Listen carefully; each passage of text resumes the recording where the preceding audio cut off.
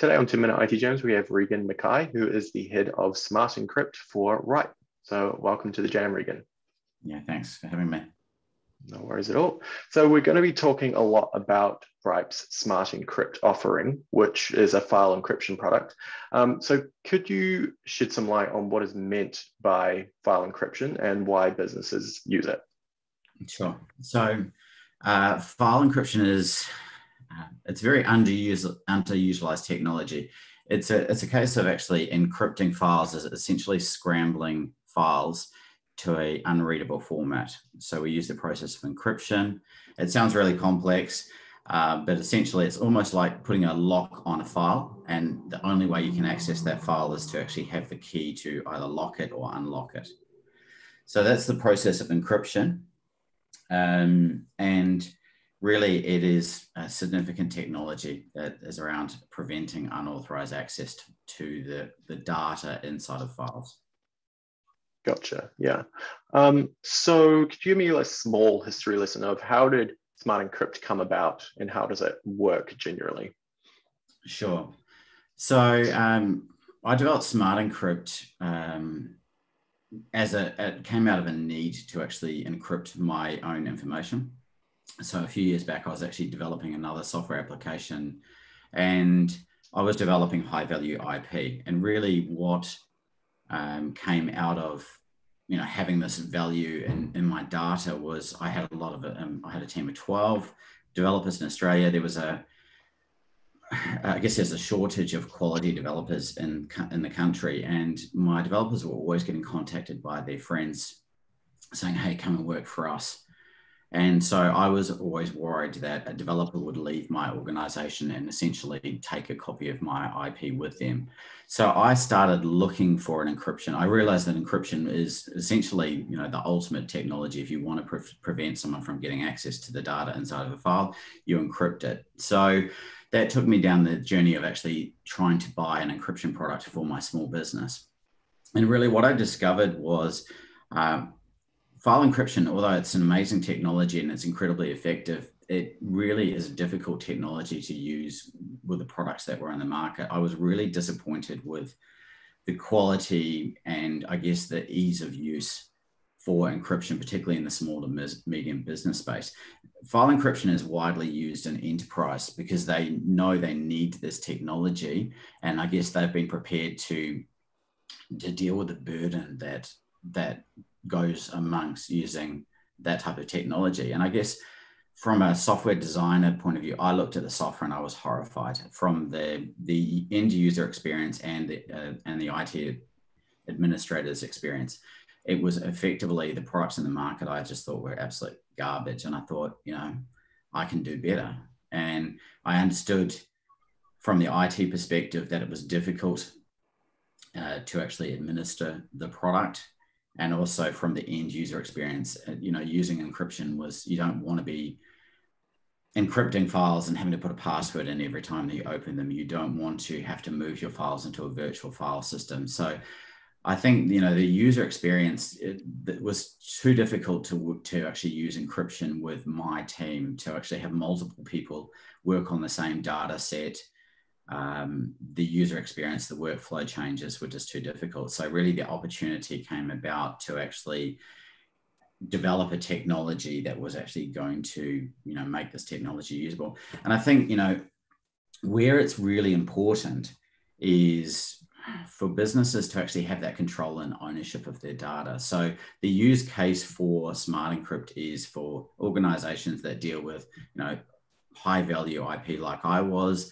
or sensitive and confidential data. So really, I guess you know your your legal firms, your medical firms, your um, accountants, anyone in the financial services, anyone with a financial services license. Um, just you know the organizations where it's going to be really detrimental to to their business if um, that data was to leave their custody you know and they've got compliance requirements around it so um, yeah, I guess that was the the the reason I decided decided to actually develop the product was just to make this really incredible technology uh, easy to use. So I really focused on on the ease of use um, from both the IT uh, perspective and from the end user perspective.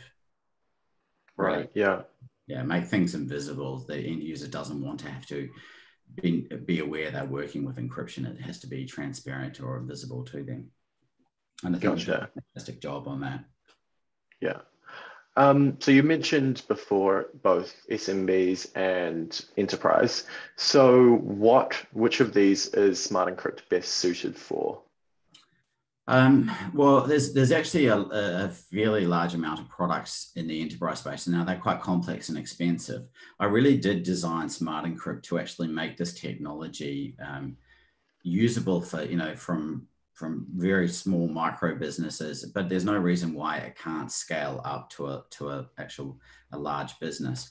So you know, I think you know a prime case that I would say is a, a use case and, a, and an ideal setting would be you know, I visited my accountant.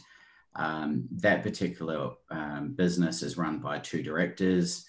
Um, they have uh, 15 staff, and I would imagine the company is probably about 20 years old. These guys uh, have got a successful business, and you know, for for them, they're working with really confidential uh, information. And I think the you know what I when I spoke to them about this, I said, look, cybersecurity changes so rapidly, and um, they've got to be aware of, of the dangers that that they face by you know creating and, and storing this information. So you know they weren't really aware of the need for encryption. So know I had a chat with them, and I really explained that.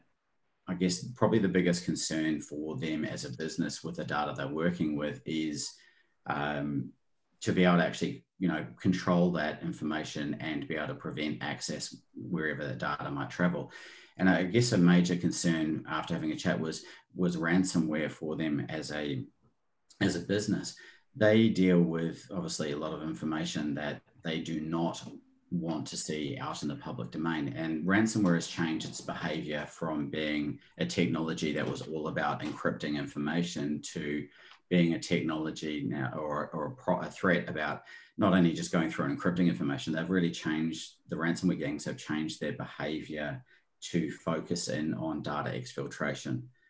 And so what ransomware is now, the trend is, is not just to encrypt the information because businesses have been able to mitigate that by restoring that information from backup. And of course, they don't need to pay so the ransomware gangs have just simply evolved, like you know a lot of threats in cybersecurity have, and they've changed the strategy to data exfiltration.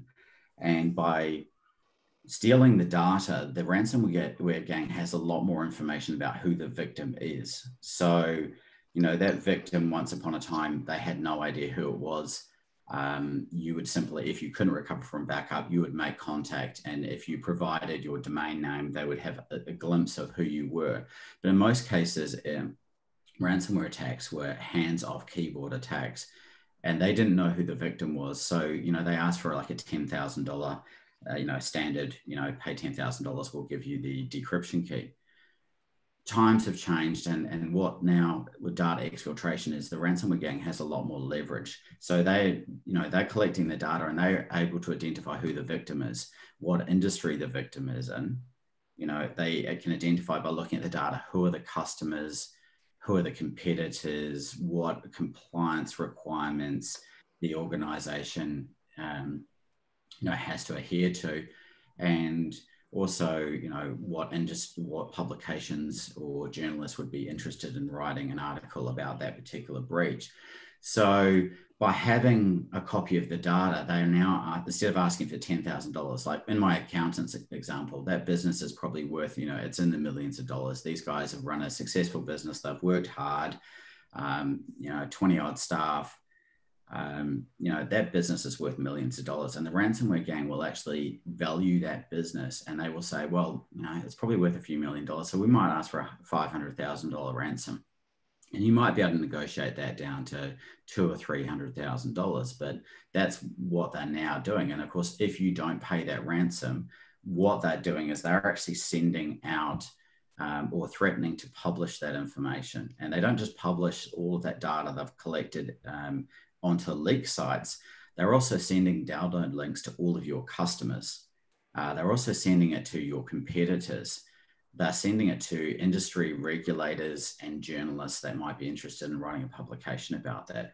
It's really about maximum damage to your reputation and your trust with your customers and your ability to generate work going forward so therefore you have no choice but to pay so for you know small to medium businesses in particular this is business destroying stuff this is this event is either going to destroy the business or put a, a, a, serious impact on the quality of life of the, the company owners and the ability for that business to to grow so it's really about small to medium businesses. The product is absolutely perfect for, but there's no reason why it can't scale through to enterprises.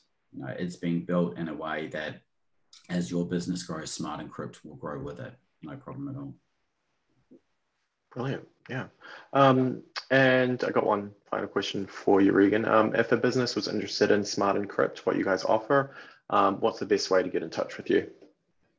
Well, we sell uh, Smart Encrypt through the IT channel, but we will also happily work with um, businesses that that um, don't work with an IT provider. So, you know, if you're a business um, and you want to and you're interested in Smart Encrypt, you can simply send us an, um, an email at info at smartencrypt.com and we'll be able to put you in touch with an IT provider that can provide and install Smart Encrypt for your business.